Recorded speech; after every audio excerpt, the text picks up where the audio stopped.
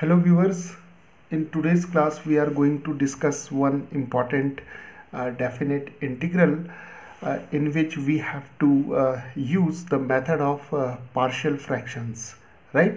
So here uh, we have the uh, integral from 3 to 4 2 minus x over x cube plus 3x square plus 2x right? So we have to find the value of this definite integral so let us start. So let us first call this integral as i right? Now viewers here we see that uh, our uh, integrand is a, a, rational function right? So let us denote the uh, integrand by uh, f of x which is 2 minus x over x cube plus 3x square plus 2x right and here the uh, numerator and the denominator uh, both are polynomial functions right? So this is a rational function. And moreover we see that the degree of uh, denominator is 3 and the degree of uh, numerator is 1 right? Okay. So now what we will do uh, will uh, first concentrate on the denominator. And the denominator can be uh, written as uh, from here uh, we can take x common. So we have x square plus 3x plus 2 right?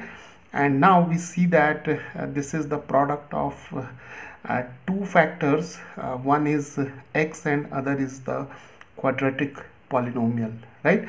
So now we'll uh, factorize this x square plus 3x plus 2 by the method of splitting middle term right? So we can uh, break 3x as uh, 2x plus x and uh, now we can uh, write uh, this expression as x x plus 2 and here we can write 1 and x plus 2 so uh, overall it is x plus 1 and x plus 2 right? So now we are able to factorize this uh, quadratic polynomial into two uh, linear factors right? So now uh, our integrand uh, it takes the form 2 minus x over x and we have x plus 1 and x plus 2 right? Okay so now we see that uh, the denominator it comprises of uh, three uh, linear factors right? So now we can uh, uh, decompose this rational function into partial fractions right? So let us write this as a over x then b over uh, x plus 1 and c over x plus 2 right?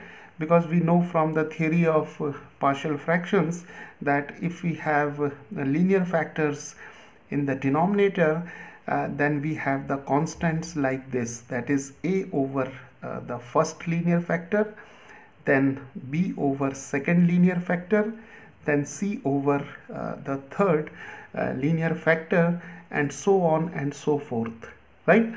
Okay so now we have uh, this function that is 2 minus x over uh, x x plus 1 x plus 2 is uh, equal to now we can take the LCM of x x plus 1 and x plus 2 so we have x x plus 1 and x plus 2 and in the uh, numerator we can have a times x plus 1 x plus 2 then we have uh, b times here x plus 1 and x plus 1 get cancelled. So we are left with x and x plus 2 and then uh, we have c and x plus 2 x plus 2 get cancelled and we have x times x plus 1 right?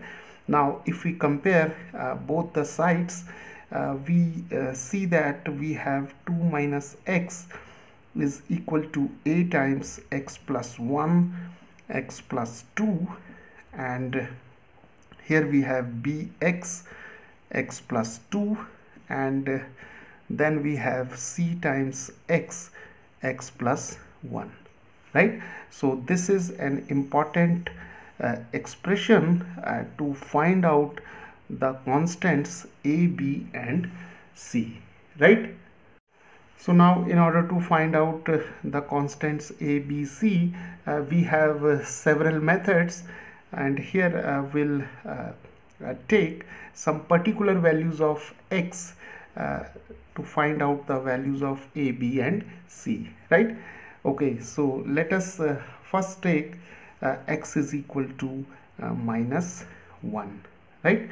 So when we take x is equal to minus 1 uh, the right hand side becomes 2 minus uh, minus 1 here we are taking x is equal to minus 1 now here uh, this factor becomes 0 then we have b times x x is minus 1 and here we have minus 1 plus uh, 2 right? And this factor becomes 0 so now if we solve this uh, this is 1 and we have 2 plus 1 3 here we have 2 minus 1 1 so we have b times minus 1 so b is equal to uh, minus 3 right? Okay so we have obtained the value of uh, b. Now uh, to get the value of uh, other constants let us take x is equal to uh, 0 right? So these are the simple values of x uh, from which we can find out the constants. So when x is 0 uh, this expression uh, becomes 2 minus 0 and here we have a times uh, 0 plus 1 is 1 then 0 plus 2 is 2 and uh, this factor becomes 0 and uh, this term also becomes 0 because uh, x is 0 right? So now we have 2 is equal to uh, 2a and 2 and 2 get cancelled so we have a is equal to 1 right? Okay so now we have obtained the values of a and uh, b right? Okay now we have to find the value of c and in order to find out the value of c uh, we can take some uh, uh, simple value of x and let us take x is equal to 1 right? So we'll take the uh, simplest value of x as 1 uh, or in other words we can say that uh, to find out the value of c we can take other values of x also right? So here x is equal to 1 is the simple value. So uh, this expression becomes 2 minus 1 and here we take x is equal to 1 so we have a times uh, 1 plus 1 2 then we have 1 plus 2 3 then we have b times uh, here we have 1 then 1 plus 2 is 3 and then we have c. And here we have uh, 1 then 1 plus 1 2 right? So this is 2 minus 1 is 1 and we have 6a here we have 3b and here we have uh, 2c right so now this is uh, an equation in a b c. And we already know the value of a and b. So let us uh, put these values over here. So we have 6 times 1 then we have 3 times minus 3 and plus 2c right? So this is uh, uh, 6 minus 9 and this is 2c and we have 1 is equal to minus, uh, 3 and plus 2c and uh, if we take minus 3 to this side we have 2c is equal to 1 plus 3 that is 4 and c is 4 over 2 and c is equal to 2 right? Okay so now uh, by this uh, method uh, we have obtained uh, the values of the constants a b and c right so now viewers uh, once we have obtained the values of a b c uh, we can substitute them uh, these values here. And now our integral this integral becomes 3 to 4 and for this uh, we have f of x dx. And uh, we can write it as 3 to 4 and for f of x we have uh, this expression so we have a over x plus b over x plus 1 and uh, c over x plus 2 right? And now we can substitute uh, the values of a b c. So we have 3 to 4 a is 1 so we have 1 over x.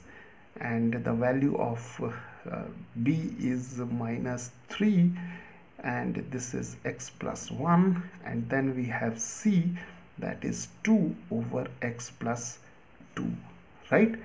Okay so now we have uh, three integrals here and uh, we'll uh, make use of the result uh, which says that uh, the integral of 1 over x is uh, log of x and the integral of x plus some constant say alpha is equal to log of x plus alpha right?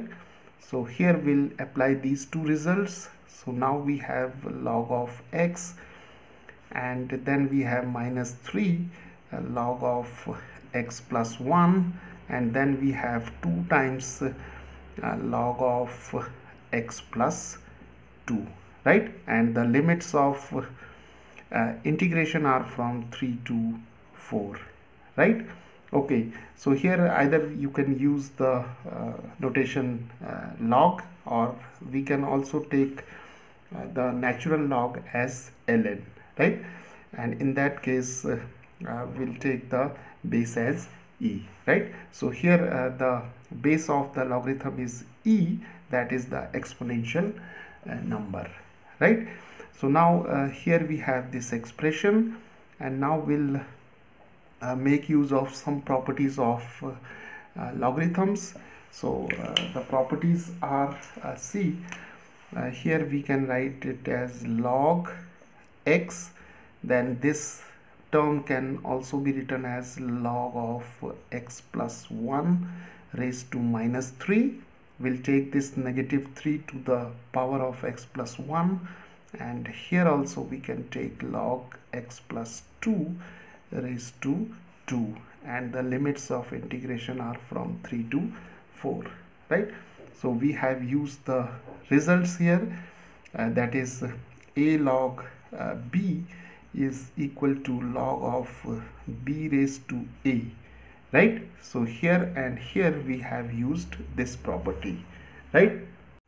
Now we'll uh, use uh, another property of logarithms that is log of say a plus log of b plus log of c is equal to log of a multiplied b multiplied c. Right? So here uh, this is a this is b and this is c right? So we have log of x times x plus 1 raised to minus 3 times x plus 2 uh, whole square right? And the limits of integration are from uh, 3 to 4 right? And now we can uh, also write this expression as log of x times x plus 2 square over x plus 1 cube right? And the limits are from uh, 3 to 4 right? Uh, so viewers uh, from uh, this discussion uh, we arrive at the conclusion uh, that the indefinite integral the indefinite integral that is 2 minus x over x cube plus 3x square plus 2x dx is equal to uh, log of uh, x times x plus 2 uh, square over x plus 1 cube right? So this is the uh, indefinite integral of uh, this function right? And we can also take uh, c prime as the constant of integration right?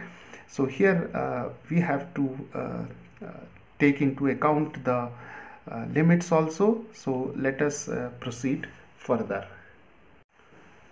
So now uh, let us substitute the limits here and we'll take the difference. So i is uh, equal to uh, log of uh, c. uh, here uh, we'll take first x is equal to 4 so we have 4 times 4 plus 2 is 6 so we have 6 square and this is 4 plus 1 5 so we have 5 cube right?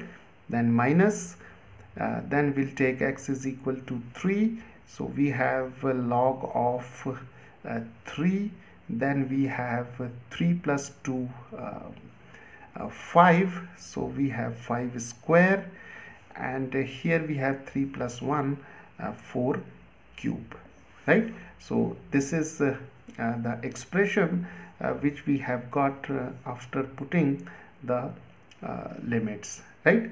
So now uh, we can simplify it and we have uh, uh, 4 times this is 36 and this is 125 and here we have log of 3 times 25 5 square is 25 4 cube is 64 and uh, here we'll get uh, 36 times 4 is 144 over 125 and uh, we have here a log of 75 25 3s are to 75 and we have 64 right? And again we'll make use of the property of log uh, that is log a minus log b is equal to log of a over b right? So we have log of 144 over 125 and divided by 75 over 64 right? So this is the expression right? Now we can uh, further write it as 144 over 125 times 64 uh, we'll take this 64 to the uh, numerator here and we have here 75 right? Now we can cancel uh, these two terms so 325s are and this is 3 times uh, 48 right so now we have log of 48 times 64 uh, divided by 125 times 25 right? Okay so now uh, if we um, multiply uh, these two terms and these two terms then we are left with uh, log of uh, uh, 3072 over uh, 3125 right? And we can take the answer as uh, this term that is log of 3072 divided by 3125 but here uh, we'll uh, simplify it uh, a little bit right? So now let us take uh, 48 right? 48 can be written as 16 times 3 and 16 can be written as 4 square and this is 3 right? And 64 can be uh, written as 4 uh, cube right? And here we have uh, 125 times 25 so we can write 125 as 5 cube and 25 as 5 square. So the bases are same. So we have 5 raised to 5 right? So now we'll uh, utilize these uh, expressions uh, over here. So now uh, we can write uh, this expression as uh, c. We can write i as log of 48 can be written as 4 square times 3 and 64 can be written as 4 cube and here uh, this term is equal to 5 raised to 5 right? Okay so now we have log. Uh, this is 4 square this is 4 cube. So this is 4 raised to 5 2 plus 3 5 and uh, this is 5 raised to 5 and uh, then we have uh, 3 over here right? And now uh, again we can use the property of log here. So we can write log of 4 over 5 uh, raised to 5 times 3 and now we can uh, uh, split this term as a sum of two terms. So we have log of 4 over 5 raised to 5 plus log 3 right? And uh, taking this 5 uh, in front of log. So we have 5 times log of uh, 4 over 5 plus log 3 right? So viewers uh, this is how uh, we can uh, simplify uh, this numerical term. And the final answer or the simplified one is this one. So the value of this integral is 5 log 4 over 5 uh, plus log 3 so this is how uh, we solve this problem by making use of uh, the method of partial fractions